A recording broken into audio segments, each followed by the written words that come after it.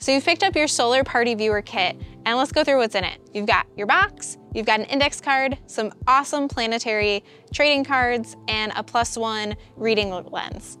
You're also gonna need some tape, some scissors or a box cutter, and a pencil.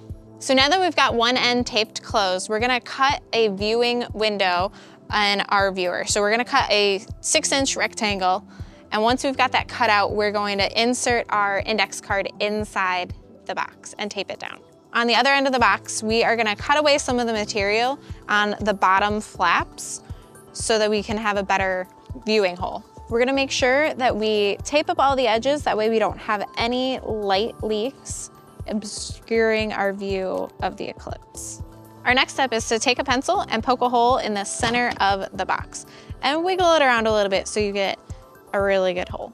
So for our last step, we're gonna take our lens and we're gonna cover up that hole and then we're gonna take our tape and tape down that lens on the edges. Now that we've finished building our eclipse viewer, now we can start using it. So we're gonna point the lens end towards the sun and while looking away from the sun, we're then gonna look down at our viewer. Uh, so make sure that when you're looking at the shadow, it is a perfect square of the box and you get it nice and lined up and then your eclipse should shine on your white index card.